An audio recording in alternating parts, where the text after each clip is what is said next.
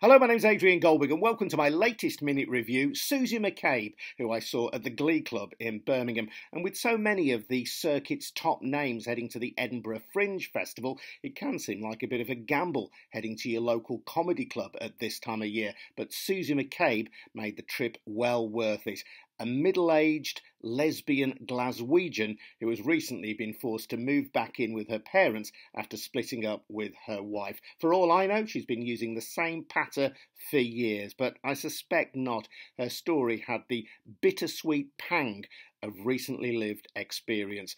Coated with some of the funniest, sharpest observations I've seen on a comedy stage for a long, long time. Edinburgh's loss was most definitely Birmingham's gain.